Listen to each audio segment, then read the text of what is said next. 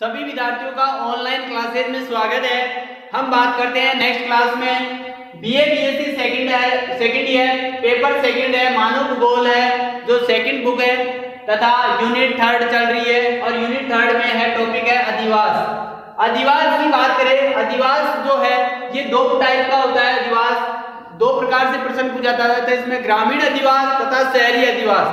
तो हम इसको सम्मिलित रूप से एक प्रश्न में कन्वर्ट कर दिया है। देखो। अधिवास के प्रकारों से आप क्या समझते हैं? ग्रामीण अधिवास व शहरी अधिवासों के प्रकार को समझाइए। एक बार जो परीक्षा है, उसमें यह पूछा गया था कि केवल ग्रामीण अधिवास, केवल ग्रामीण अधिवास तथा दूसरी बार पूछा गया है, शहरी अधिवासों के प्रकारों को समझाइए।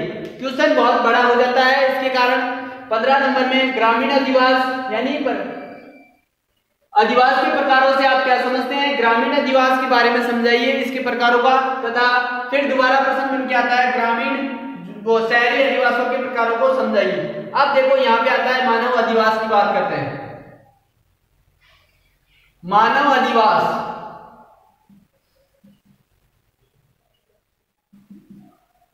मानव भूमि का वह भाग जो मानव बसाव के उद्देश्य से प्रयुक्त किया जाता है। मानव अधिवास कहलाता है। भूमि का वह भाग वह भाग जो किसके लिए? मानव बसाव के उद्देश्य से। मानव बसाव के उद्देश्य से प्रयुक्त किया जाता है या बनाया जाता है? उसे क्या कहते हैं? मानव अधिवास। मानव अधिवास मानव द्वारा रचित उस रचना से है जो उसके रहने अथवा कार्य करने अथवा अन्य आवश्यकताओं की पूर्ति के लिए बनाई जाती है। यानी मानव की किसी न किसी आवश्यकता, उसमें रहने की आवश्यकता या अन्य कार्य करने की आवश्यकता, रहने या अन्य कार्य करने की आवश्यकता।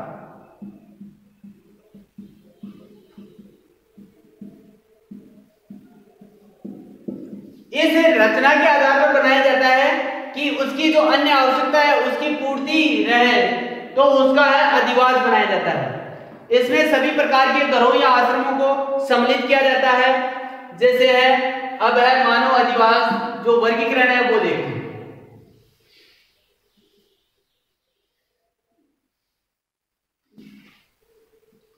वर्गीकरण।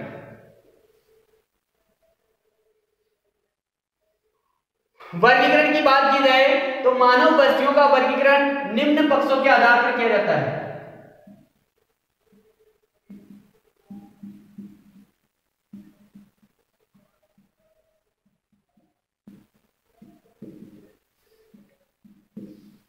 किया जाता है। नंबर फाइव जो वर्ग है, वो है स्थिति के अनुसार।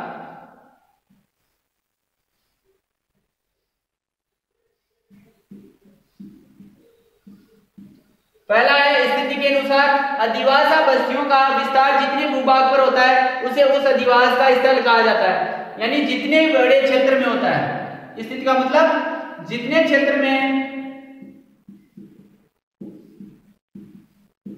इनका विस्तार होता है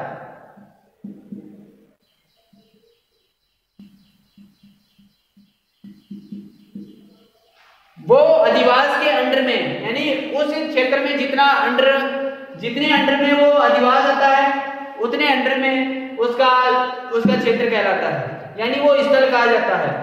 अब इसके अनुसार बस्तियाँ निम्न प्रकार की हो सकती है। देखो कौन कौन सी है। स्थिति के अनुसार, स्थिति के अनुसार देखो, नंबर फाइव आती है, वो है मैदानी बस्तियाँ।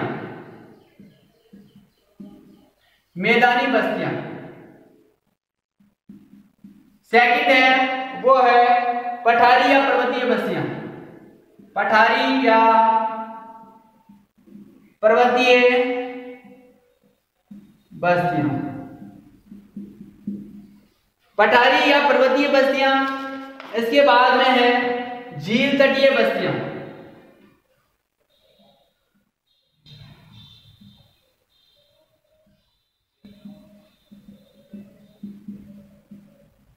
फोर्थ है, वो है समुद्र तटीय बस्तियाँ।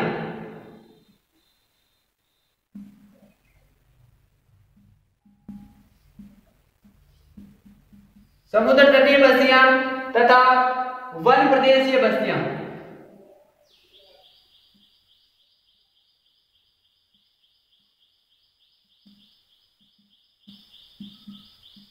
वन प्रदेशीय बस्तियाँ तथा मरुस्थलीय बस्तियाँ।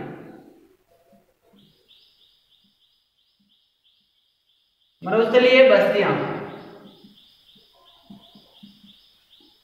तो स्थिति के अनुसार ये पाँच प्रकार से है उसमें आ गई मैदानी पठारी झील समुद्र तटीय वन प्रदेशीय तथा मरुस्थलीय बस्तियाँ। आप लिख लिए होंगे, अब घरों की मध्य दूरियों के आधार पर। मैं दूसरा प्रकार ले रहा हूँ।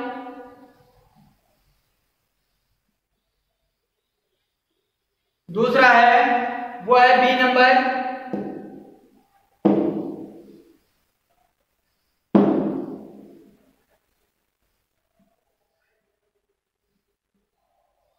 घरों की दूरियों के आधार पर।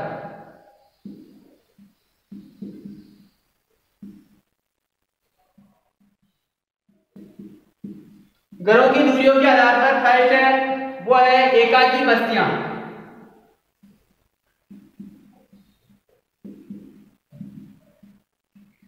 एकाकी बस्तियाँ सेकंड है, वो है बिक्री बस्तियाँ।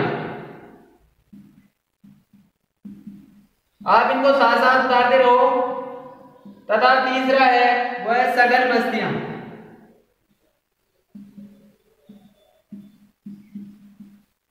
ये हो गई तीनों। अब समय के विचार के आधार पर देखो। समय के विचार के आधार पर सी आता है। समय के विचार के आधार पर समय के विचार के आधार पर भी तीन प्रकार की होती है। समय के विचार के आधार पर तीन प्रकार की है। पहली है, वो है अस्थायी बस्तियाँ अस्थायी बस्तियाँ तथा सेकंड है, वो है मौसमी बस्तियाँ। तथा थर्ड है, वो है स्थायी बस्तियाँ।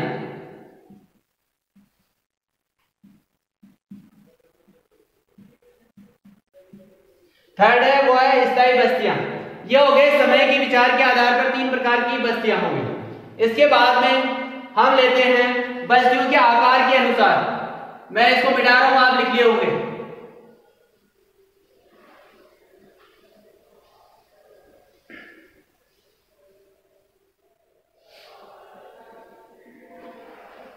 बस्तियों के डी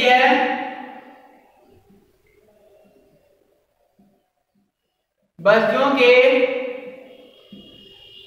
आकार के आधार पर। आकार के आधार पर यह है, ये पाँच प्रकार की होती है। इसमें फ़र्स्ट है वह है पूर्वा सेकंड है वह ग्राम, तथा थर्ड है, वो है कस्बा फोर्थ है नगर फिफ्थ है, वो है महानगर। ये बस्तियों के आकार के आधार पर हो गया। अब बात करते हैं बस्तियों की आकृति के अनुसार।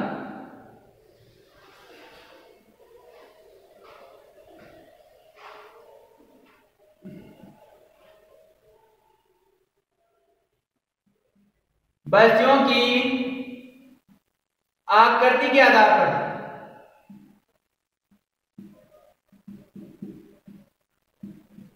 आकृति के आधार पर अनेक प्रकार की है इसमें रेखीय प्रतिरूप।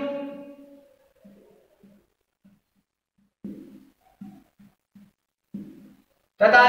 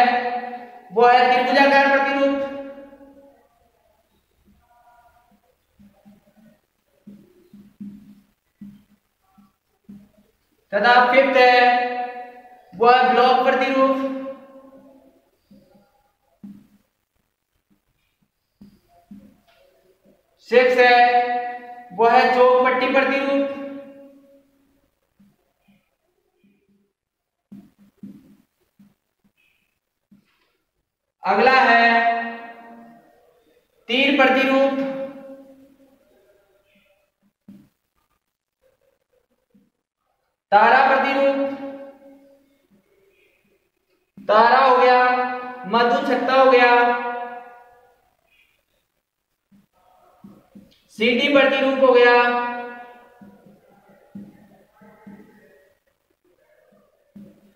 तथा तृतीय पंखा प्रतिरूप हो गया।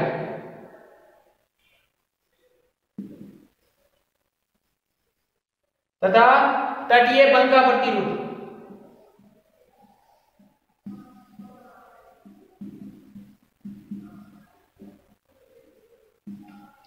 तटीय बल का प्रतिरूप तो ये है बस्तियों के आकृति के आधार पर। ये प्रकार थे ग्यारह। ये बता दिया आपने उतार लिया होगा, मैं मिटा रहा हूँ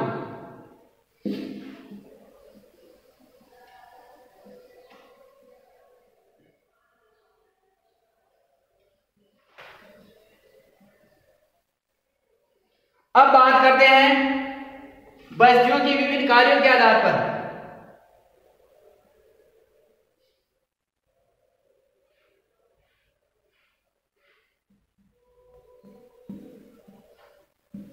विभिन्न कार्यों के आधार पर, कार्यों के आधार पर लेते हैं, वो है फ़र्स्ट है, वो है ग्रामीण बस्तियाँ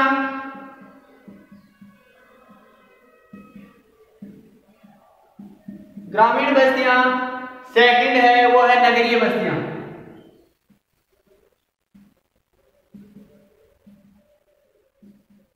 ग्रामीण बस्तियाँ और दूसरा है नगरीय बस्तियाँ। अब है बस्तियों की विकास की अवस्था के आधार पर।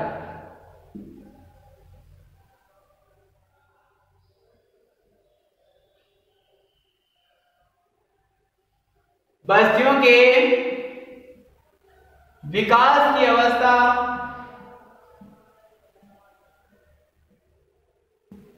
के आधार पर।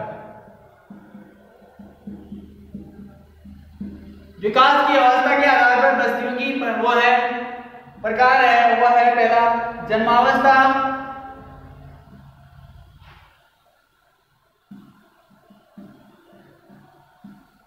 सेकंड है, वो शेषवावस्था।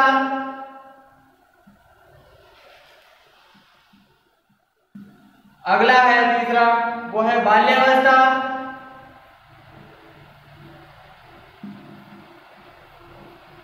फोर्थ है वो है किशोरावस्था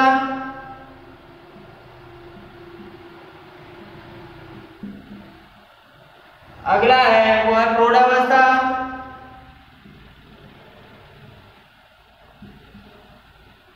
अगला है, प्रौढ़ोत्तर अवस्था।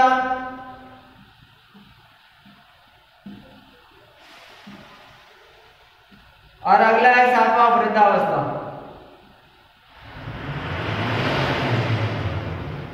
वृद्धावस्था। यह है बस्तियों के विकास के आधार पर।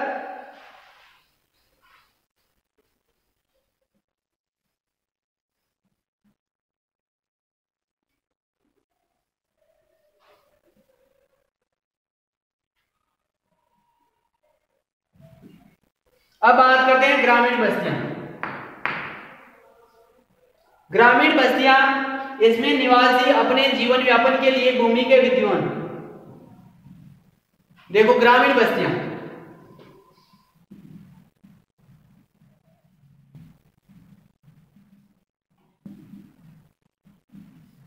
ग्रामीण बस्तियाँ इसमें निवासी अपने जीवन व्यापन के लिए भूमि के विद्वान पर निर्भर रहते हैं। यानी भूमि पर कृषि कार्य पर निर्भर रहते हैं, तथा अर्थात इनके निवासियों का मुख्य उद्यम कृषि करना, पशुपालन करना तथा मत्स्य पालन, लकड़ियाँ काटना आदि है इनका जीवन एक प्रकार से ग्रामीण स्वरूप लिए होता है।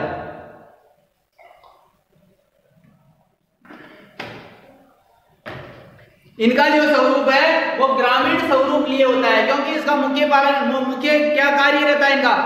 कृषि, पशुपालन तथा विभिन्न प्रकार के मत्स्य पालन। तो इस जो, इसके प्रतिरूप है, ये है पारस्परिक दूरी के आधार पर। ग्रामीण जो बस्तियाँ हैं, वो पारस्परिक दूरी के आधार पर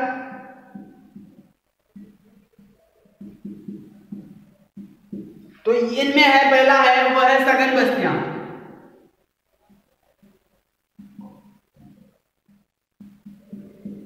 सघन बस्तियाँ, अब सघन बस्तियाँ देखो।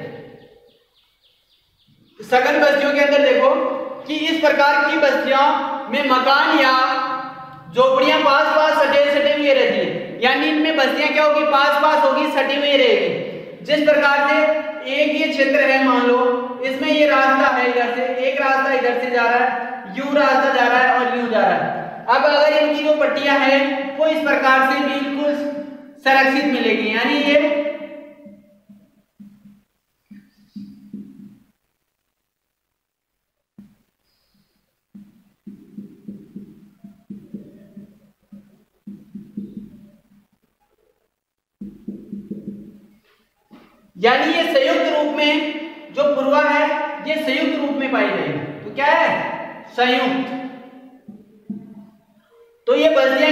प्रकार से पाई जाएगी संयुक्त रूप से।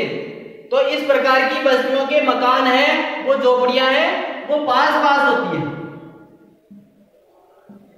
पास पास झोपड़ियाँ या मकान होते हैं।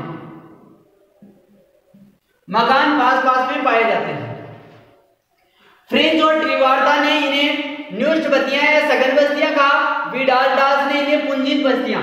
विडाल दास ने क्या कहा? कि ये पुंजित बस्तियाँ है। पुंजित बस्तियाँ है, तथा पुंज ने इन्हें क्या कहा? पुंज ने इन्हें कहा कि ये सैकेंद्रित बस्तियाँ है। सैकेंद्रित प्रकार की बस्तियाँ हैं। तो तीनों वैज्ञानिकों ने अलग अलग प्रकार बांटा अब सघन बस्तियों के आकार के आधार पर निम्न भेद होते हैं। अब ये सघन बस्तियाँ हैं, वो भी आकार के आधार पर अलग अलग की होती है? देखो। इसमें फैज है, वो है पूर्वा। पूर्वा। पूर्वा, ये सबसे छोटे आकार की सघन बस्ती होती है। सबसे छोटे आकार की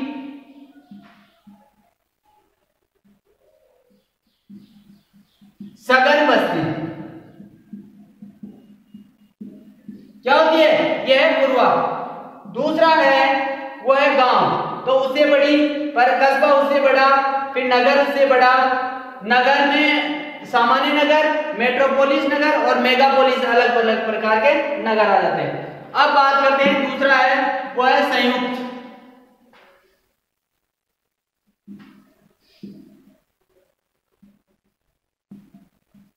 संयुक्त बस्तियाँ। संयुक्त बस्तियाँ इस प्रकार की बस्तियाँ एक गाँव में के साथ, उसके एक दो पूर्वे भी होते हैं। यदि किसी गाँव का कृषि भूमि क्षेत्र काफ़ी विस्तृत है तो गाँव के कुछ परिवार उनके खेत गाँव से दूरी पर रहते हैं। वहीं छोटी बस्तियाँ बसा लेते हैं, इसे हेमलेट कहते हैं। यानी मान लो एक गाँव है, और गाँव पे कुछ दूरी पर क्या खेत है, और यहाँ पे उन्होंने क्या बना लिया तो ये क्या कहलाएगा? हेलमेट। तथा यहाँ पे बस्तियाँ बिल्कुल सघन रहती है। इनके आसपास ही गाँव के संयुक्त रूप में बनी होती है तो इन बस्तियों को क्या कहलाएँगे? ये है संयुक्त बस्तियाँ कहलाएगी। तथा इस गाँव को मिलकर क्या कहलाते हैं? संयुक्त बस्ती कहलाएगी। अब कह, अब खंडित बस्तियाँ देखो। तीसरी है, वो है अखंडित बस्तियाँ अखंडित बस्तियाँ ये है, इस प्रकार की बस्तियाँ जिनमें अलग अलग वास ग्रह एक ही बस्ती के अंदर एक दूसरे के निकट बसे हुए थे।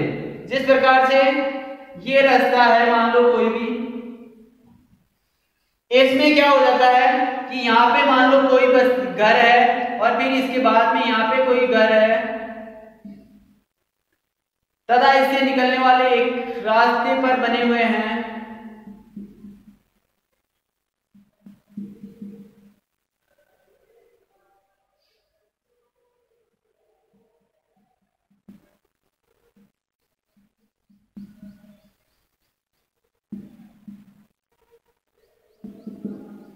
इस प्रकार की जो बस्तियाँ हैं, वो अखंडित बस्तियाँ कहलाती है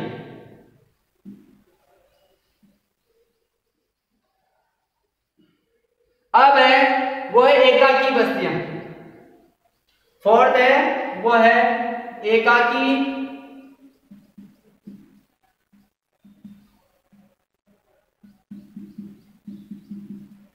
एकाकी बस्तियाँ या इन्हें बिखरी या पंकीर्ण बस्तियाँ भी बोला जाता है। एकाकी बस्तियाँ वो है, इन बस्तियों में अलग अलग बसे हुए घर कृषि ग्रह अथवा वास गृह होते हैं। ये एक दूसरे से पृथक मध्य दूरियाँ छोड़कर कृषि भूमि छोड़कर बसे हुए रहते हैं तो एकाकी बस्तियाँ कहलाती है। संयुक्त राज्य के अलावा अन्य देशों में भी स्थायी बस्तियाँ एक दूसरे पर बसी हुई है। जिस प्रकार से ये रास्ता बिल्कुल सीधा है तो यहाँ पे इस रास्ते पे, इस रास्ते पे तथा यहाँ पे यहाँ पे यानी अलग अलग खेत, ये बीच में खेत आ जाते हैं तथा यहाँ पे क्या आ जाते हैं मकान। यहाँ पे बसी हुई रहती है बस्ती यहाँ पे मान लो।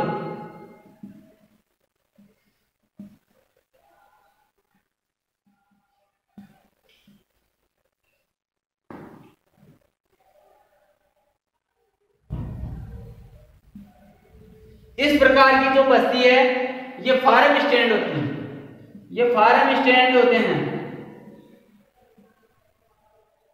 तो इस प्रकार की बस्ती क्या कहला जाती है? एकाकी बस्ती कहला जाती है। तो ये संयुक्त राज्य अमेरिका में इस प्रकार की बस्ती पाई जाती है। अब ग्रामीण बस्तियों के प्रतिरूप देखो। बी नंबर है ग्रामीण बस्तियों के प्रतिरूप। ये तो हो गया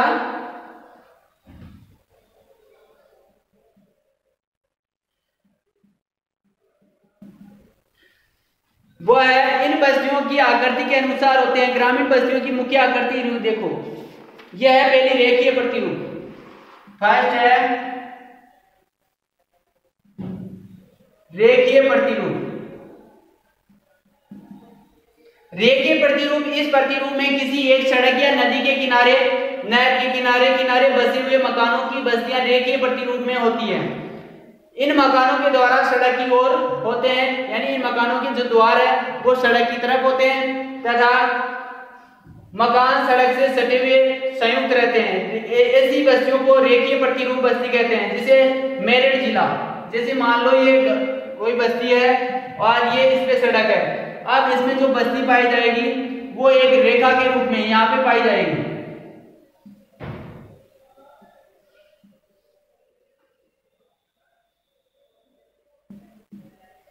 ये इसका उदाहरण लेते हैं तो जिला मेरठ। जो उत्तर प्रदेश का है, वो मेरठ में गोविंदपुरम ग्राम।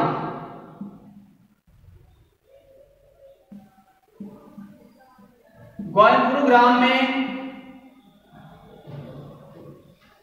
इस प्रकार की रेखीय प्रतिरूप पाया जाता है। तो आप आदर्श रेखीय प्रतिरूप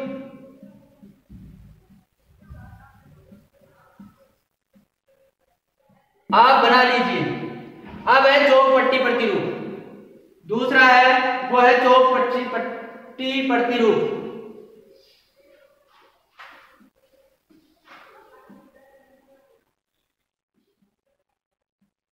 चौक पट्टी प्रतिरूप। चौक पट्टी प्रतिरूप में है, यानी इसको बोलते हैं चेकर बोर्ड पैटर्न मैदानों में, जो गाँवों में दो मार्गों के मिलाने के चौपाली या क्रॉस पर बसने प्रारंभ होते हैं, इन गाँवों की गलियाँ मार्गों के साथ मेल खाती हुई आयताकार प्रतिरूप में बनने लगती है, जो परस्पर लंबवत होती है। ऐसे गाँवों की बस्ती चौपट्टी प्रतिरूप कहलाती है। जैसे मेरठ ज़िले में गेसरपुर, रेवड़ी खास आदि, गाजियाबाद ज़िले में सिंबावली तथा बाबरूगढ़, छावनी, कुचेरा अब है आर्य त्रिज्या प्रतिरूप तीसरा है, वो है आर्य त्रिज्या प्रतिरूप आर्य त्रिजा प्रतिरूप में यह है, इस प्रकार के प्रतिरूप में गाँव में कई मार्ग आकर मिलते हैं। कई मार्ग आकर मिलते हैं, जैसे मान लो ये है तो यहाँ पे कई मार्ग आपस में मिलेंगे। ये क्या है? मार्ग।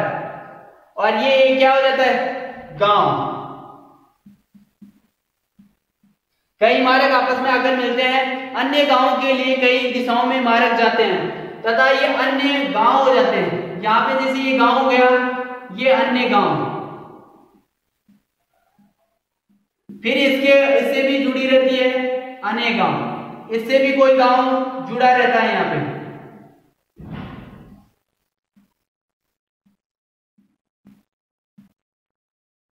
तो ये गाँव अन्य क्षेत्रों में जुड़े रहते हैं। तो मकानों के सामने व पीठ की ओर मार्ग होते हैं, ये सभी मार्ग आपस में गाँव में आकर मिलते हैं ऐसे प्रतिरूप को मकड़ी जाल। इसे मकड़ी जाल प्रतिरूप भी कहते हैं। मकड़ी जाल प्रतिरूप। मकड़ी जाल प्रतिरूप भी कहते हैं। जैसे भारत, पाकिस्तान, चीन में 35 प्रतिशत संख्या इस प्रकार की है। भारत, पाकिस्तान में इस प्रकार की मिलती है। भारत, पाकिस्तान में 35 प्रतिशत, भारत में बिहार एमपी हरियाणा, राजस्थान में प्रत्येक ज़िले में इस प्रकार के प्रतिरूप पाया जाता है। अब बात करते हैं, वो फोर्थ है, वो है त्रिभुजाकार पैटर्न।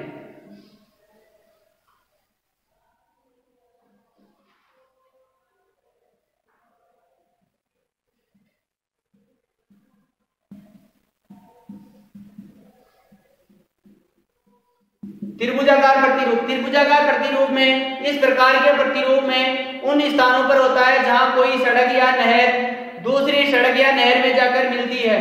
परंतु क्रॉस न करे से गाँव या सड़क को एक और फैले देते हैं। जैसे मान लो इस प्रकार से कोई सड़क या मार्ग है।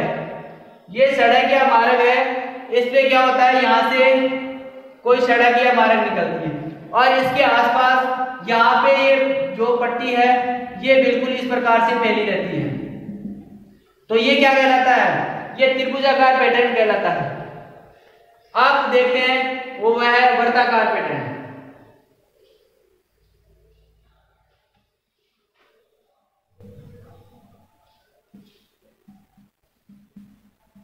वर्ताकार प्रतिरूप।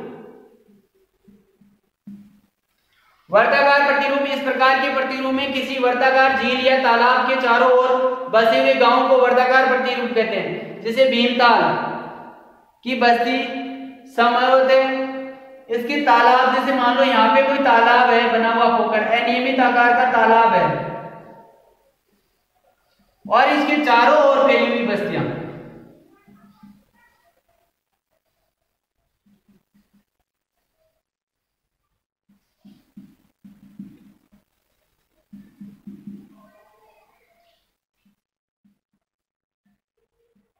और ये बस्तियाँ तो इस प्रकार की पाई जाने वाली बस्ती क्या कहलाएगी? वर्ताकार प्रतिरूप की बस्ती कहलाएगी। वर्ताकार प्रतिरूप के बाद में देखते हैं तीर प्रतिरूप।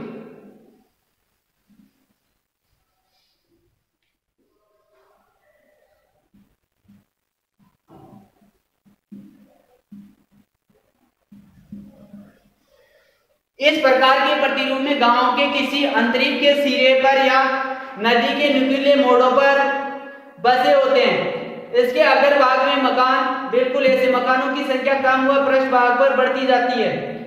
जैसे कन्याकुमारी ग्राम, उड़ीसा की चिल्का प्रदेश में ग्राम तो देखो तीन प्रदेश के इस प्रकार से ग्राम होंगे। बिल्कुल ऐसे त्रिकोणाकार। अब यहाँ पे क्या है? इस प्रकार से यहाँ पे ग्रामीण जो पाई जाती है यहाँ की बस्तियाँ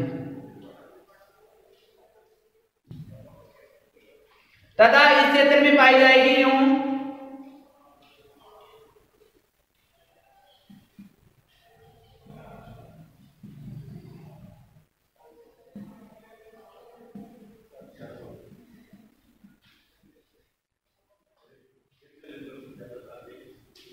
इस प्रकार में जो बस्तियाँ पाई जाती है, ये कहलाती है वो तीन प्रतिरूप बिहार की गंडक नदी के मोड़ पर तथा केरल में मुल्तान आदि ग्रामों में, यानी खंबात की खाड़ी में, इस प्रकार के अनेक ग्राम है।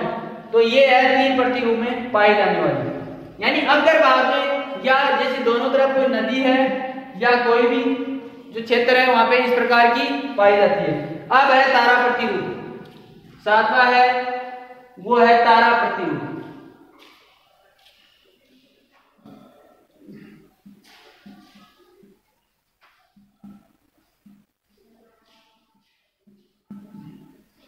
तारा प्रतिरूप है, इस प्रतिरूप में ग्राम प्रारंभ में अरिय तथा त्रिज्या प्रतिरूप में होते हैं और बाद में ये बढ़ते बढ़ते बाहर की ओर मार्गों की तरफ़ फैल जाते हैं।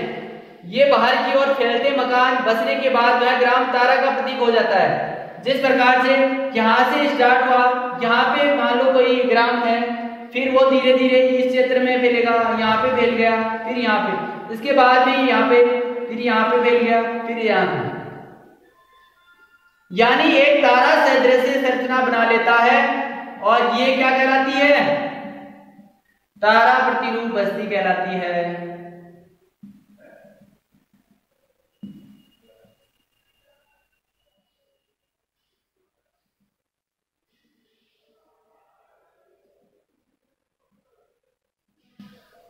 ये तारा प्रतिरूप बस्ती कहलाती है। जैसे यूपी में डहाना, यूपी में देहाना तथा बठोना गाँव। बठोना ग्राम है तथा ये अब है अनियमित अनाकार अगला है अनियमित व अनाकार। अनियमित या अनाकार इस प्रतिरूप में ग्राम में है जो किसी मार्ग के निर्माण से पूर्व ही बसे हुए रहते हैं। प्रत्येक घर उस स्थान पर बस गया है जहाँ उसके स्वामी की सुविधा होती है। यानी जैसे किसी खेत पर है, मान लो वहाँ पर रास्ता ही नहीं है और वहाँ पे जहाँ पे सुविधा मिली और वहाँ पे ही बस गए बाद में मार्ग बनाने में, बाद में मार्ग बनाते हैं तो इसकी आकृति अनियमित हो जाती है। जैसे मान लो यहाँ पे रह गए और यहाँ पे रह गए। यहाँ पे बस्ती से बना लिया, यहाँ पे बना लिया। यहाँ पे बना लिया, यहाँ पे बना लिया। यहाँ पे बना लिया, यहाँ पे बस्ती बस गई। अब क्या होती है, इनको मार्गों के लिए इनमें अनियमित आकृति बनानी पड़ती है। यानी मार्गों के लिए, आने जाने के लिए, इसकी आकृति कैसी हो जाती है? अनियमित आकृति हो जाती है।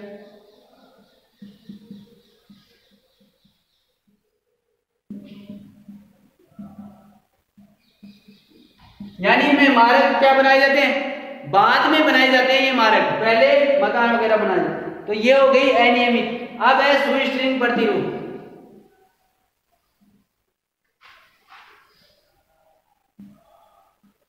सु स्ट्रिंग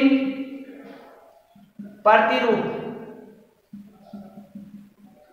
सुस्ट्रिंग प्रतिरूप, ये फ्रिंज और टिवार्ता ने इस प्रकार के प्रतिरूप को प्रकाशित किया।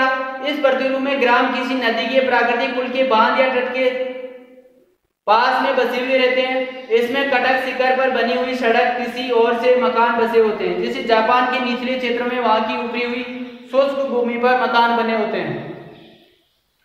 इस प्रकार से, इस प्रकार से बने हुए मकान सुस्ट्रिंग प्रतिरूप कहलाते हैं। अगला है, वो है पंखा प्रतिरूप। पंगा प्रतिरूप इस प्रतिरूप में ग्राम नदियों की डेल्टाओं में बसे हुए होते हैं, जैसे महानदी, गोदावरी, कृष्णा नदी, डेल्टाओं में इस प्रकार के ग्राम प्रतिरूप पाए जाते हैं, हिमालय के पास ग्राम क्षेत्रों में। यानी जो डेल्टाई प्रदेश है, वहाँ पे पाए जाते हैं। अब अगला है, वो है सीडी प्रतिरूप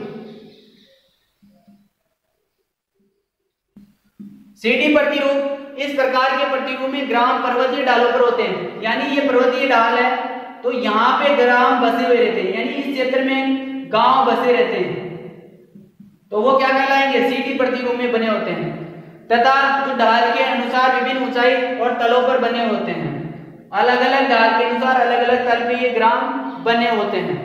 तो इस प्रकार की जो है, जैसे हिमालय आल्पस रोकीज आदि श्रेणियों में इस प्रकार के पर्वत बसे रहते हैं। अगला है चौकोर पत्ती पट्टी रूप। अगला है चौकोर प्रतिरूप। चौकोर प्रतिरूप इस प्रकार का प्रतिरूप में ग्राम, मरुस्थलों और अर्ध मरुस्थलों में बसे होते हैं। इनके मकान बहुत ऊँचे होते हैं। गाँवों में बाहर चार दीवारी भी कहीं कहीं होती है। मकानों में बहुत ऊँचा इसलिए बनाया जाता है कि चारों ओर तूफानों से और शत्रुओं से रक्षा की जाए। अगला है, वो है मधु छत्ता प्रतिरूप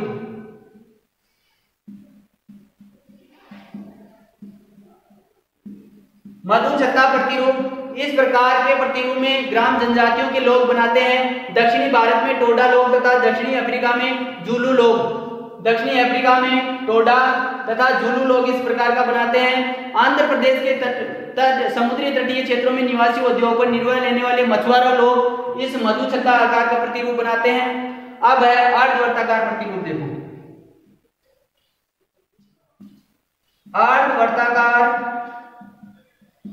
प्रतिरूप अर्धवर्ताकार प्रतिरूप में कोई भी जो है, वो रास्ते के इस प्रकार से यहाँ पे बिल्कुल सी बस्तियाँ पाई जाती है। इन क्षेत्रों में जो बस्तियाँ पाई जाती है, वो अर्थ कर यानी रास्ते के एक तरफ़ नदी तटों पर बसे हुए गाँव वर्ताकार प्रतिरूप के होते हैं।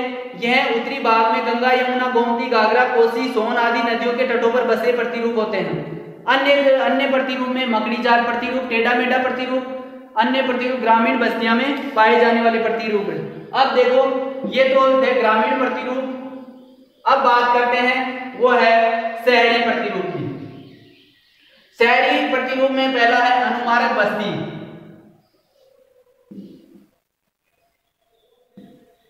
शहरी अधिवास।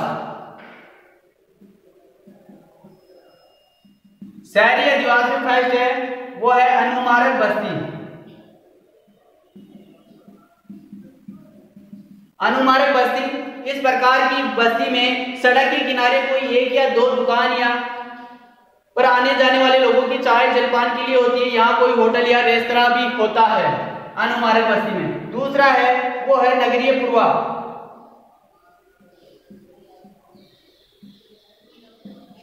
नगरी पूर्वा इस प्रकार की बस्ती में 20 से 150 मानव जनसंख्या होती है। इस प्रकार की पूर्वा यूएसए में पाए जाते हैं। ये यूएसए में पाए जाते हैं तथा ये बस्ती है सड़क के किनारे।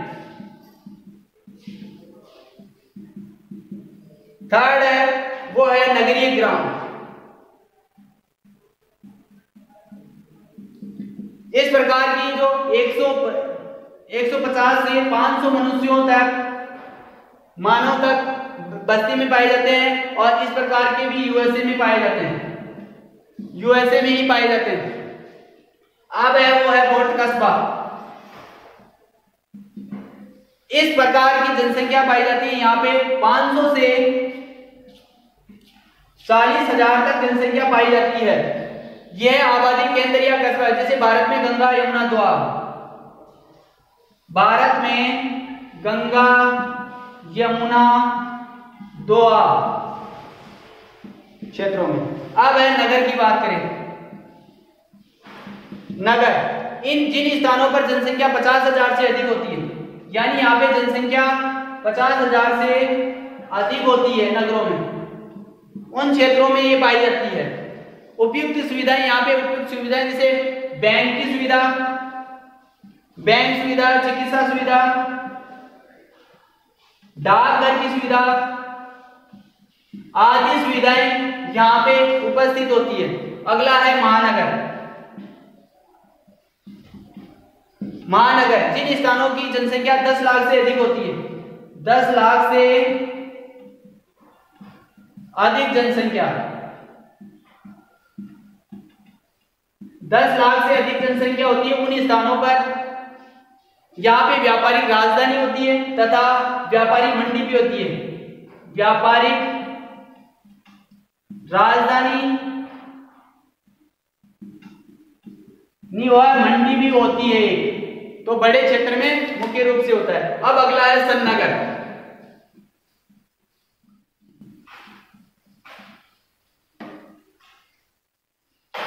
सातवा है वो है सन्नगर इस पैट्रिक गेडीज ने सन नगर की स्थापना की थी पहले। Patrick Geddes. गेडीज ने सरनगर की स्थापना की थी। इसमें कई फैलते हुए मारक परस्पर मिलकर एक इकाई बनाते हैं। एक इकाई बनाते हैं। एक इकाई बनाते हैं कस्बे परस्पर मिलकर तथा नगरी जिसे कोलकाता इससे इसका, अगला है मेगोपोलिस।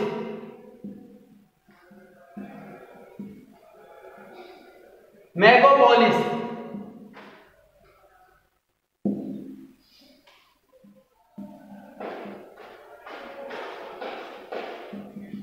मेगालोपोलिस। मेगालोपोलिस अत्यंत बड़े नगर होते हैं जिनकी जनसंख्या 50 लाख प्राय होती है जनसंख्या। इसमें टोक्यो न्यूयॉर्क टोक्यो न्यूयॉर्क आदि प्रकार के ग्रामीण पाए जाते हैं। मपोर ने विशाल नगरों को मेगापोलिस की संख्या दी है। यह था नगरीय दृष्टि के अनुसार जो है शहरी इनके। अब इसके नगरीय विन्यास की दृष्टि से चेकर बोर्ड प्रतिरूप वर्ताकार प्रतिरूप अर्य प्रतिरूप, तारा प्रतिरूप, मिश्रित प्रतिरूप, खड़ी पतन प्रतिरूप, रेखीय प्रतिरूप, तटीय बंगा प्रतिरूप, खुला हाथ प्रतिरूप मकड़ी जाल प्रतिरूप। ये अन्य प्रकार के शहरी नगरों के जो है, वो है प्रतिरूप है। अब स्थिति के आधार पर अगर नगरीय, जो देखे नगरों की तो स्थिति के आधार पर झील, नदी तट पर स्थित नदी तटीय नगर, झील तटीय नगर, बंदरगाह नगर, मैदानी नगर, पठारी नगर, पर्वतीय नगर तथा मरुद्यान तथा पर्वतीय अगर व्यवसाय व कार्यों की प्रधानता के आधार पर देखें, व्यवसाय व कार्यों की प्रधानता के आधार पर, कार्य के आधार पर देखे जाए तो पहला है व्यापारिक नगर। व्यापारिक नगर प्रतिरूप, दूसरा है औद्योगिक प्रतिरूप, तीसरा है परिवहन नगर नगर प्रतिरूप अगला है प्रशासनिक नगर।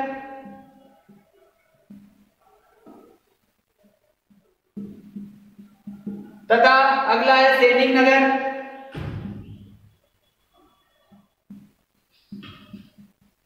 मत्स्य नगर। पर्यटन नगर। पर्यटन केंद्र नगर। क्रीड़ा स्थल या मनोरंजन स्थल जैसे आबू वगैरह शिमला देखा जाता है। सैनिक नगर में सिंगापुर छावनी वगैरह देखी जाती है। व्यापारिक नगर में देखी जाती है लंदन, मुंबई, औद्योगिक नगर में बिलाई तथा सोलापुर आदि अनेक प्रकार के प्रशासनिक नगर है। तो इस प्रकार से हम जो नगर है, उनको अलग अलग भागों में बांट सकते हैं। ठीक है, हम धन्यवाद। अगले नेक्स्ट के लिए धन्यवाद।